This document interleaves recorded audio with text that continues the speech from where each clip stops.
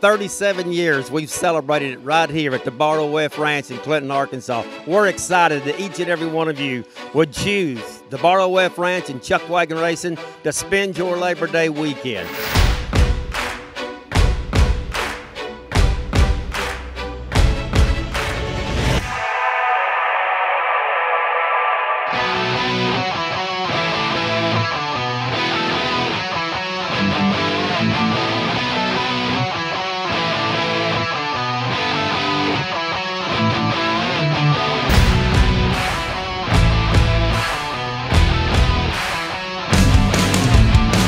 You know, a lot of them have driven a long ways. I've met people today from New Jersey, Texas, Tennessee, Kentucky, Indiana, Illinois, Iowa, Mississippi, Louisiana, and Wisconsin so far today. You can ride around, you can do trail rides, you can uh, go up to the vendors, and you can meet nice people. It's been great. We've been camping, riding horses a lot, watching the races. It's been really cool. We enjoy the riding we get to do when we're here. Soothes my soul just to get time off to ride my horses. Uh, today we rode up to the big pond and did the cowboy barbecue. Great barbecue. Um, and then we rode back. Uh, the river was beautiful. We got to stop and water the horses in the river. I mean, I get to spend a week and just forget about everything else and actually sit back and enjoy life and actually see what the Lord has given us that we take for granted each and every day.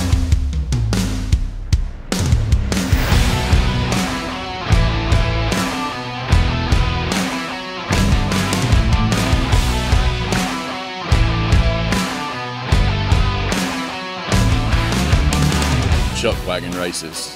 You never know from one minute to the next what's going to happen. There's nothing that's ever the same twice, and they're flat out getting it. The thunder of the horses' hooves. There, there's nothing like any kind of other kind of racing I've ever seen in my life, and I've seen about all of it. This is my Talladega 500.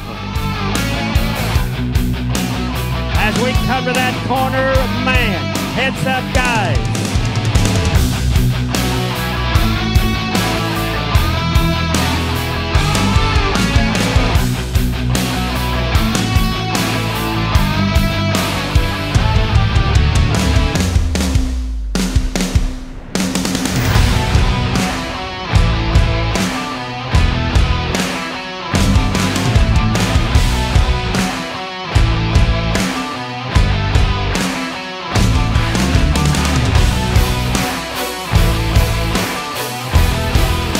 There's anything that we can do to make it more exciting, your entertainment is something that we take more than serious here at the National Championship Chuck Wagon Racing.